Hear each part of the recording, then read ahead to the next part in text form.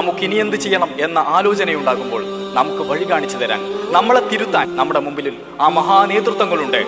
ആ പണ്ഡിത ശ്രേഷ്ഠരുടെ പിന്നിൽ അവരുടെ വിരലനക്കങ്ങളെപ്പോലും സസൂക്ഷ്മം ശ്രദ്ധിച്ചുകൊണ്ട് നമ്മൾ ഈ തെരുവിലുണ്ട് നമ്മൾ ഈ ഗ്രാമത്തിലുണ്ട് നമ്മൾ ക്യാമ്പസുകളിലുണ്ട്.